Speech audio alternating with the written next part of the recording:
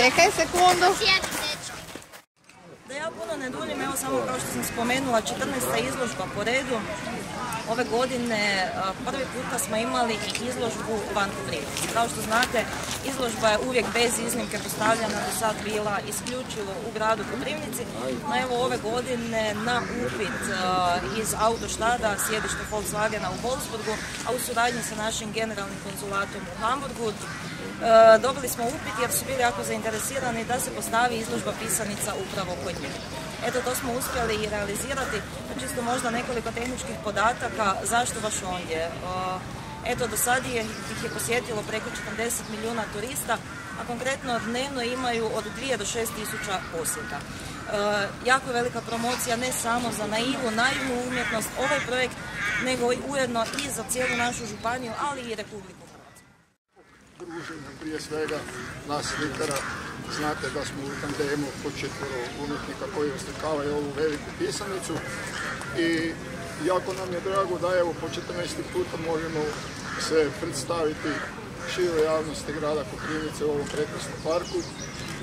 Moram reći da smo do sada uvijek imali suprotnu pomoć od županije, od grada i da davnih godina kad je krenula ona drvena pisanica koja i dan danas stoji u Grebinama, pa sve do ove pisanice e, nama slikarima je prije svega jako drago da još uvijek shodno s godinama, ali možemo i, dalje raditi i oslikavati te pisanice, a na neki način, evo kao što je rečeno u Njemačkoj je promo ne samo e, turizma, nego i nas slikara i, i slikanja takvih pisanica.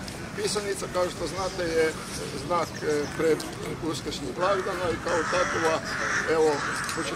put je predstavljena u ovom lijepu gradskom.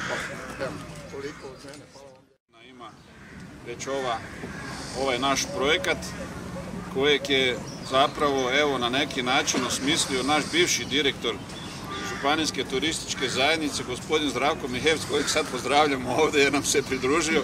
To je ovaj mladi gospodin koji se malo maskira u penzionera, pa evo i njega pozdravljamo. Kao što je Kristina rekla, evo ove smo godine e, upriličili jednu izložbu baš takvu sličnu kao što je i ova u inozemstvu, u Wolfsburgu. E, možda nismo dovoljno to naglasili. E, u Wolfsburgu je sjedište Volkswagena, znači tamo je uprava Volkswagena, jednog od najvećih dakle, koncerna proizvođača automobila i njihova je zapravo bila inicijativa i želja da se jedna takva izložba e, kod njih e, postavi. Nisu pitali uopće koliko to košta i prijevoz i sva ta organizacija, nego su evo to zdušno prihvatili.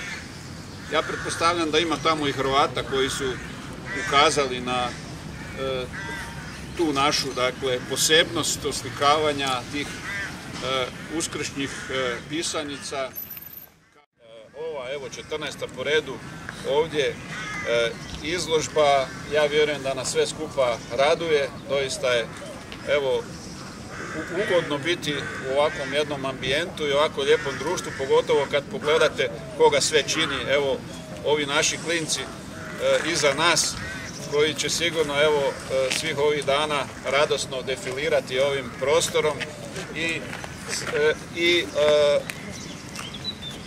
čuvati uspomene evo ovog današnjeg dana. Može malo samo pričekati dok mi završimo pa onda, ha? Ajde, draga, ajde, ajde tamo sad ćemo. Mu novce dali, evo.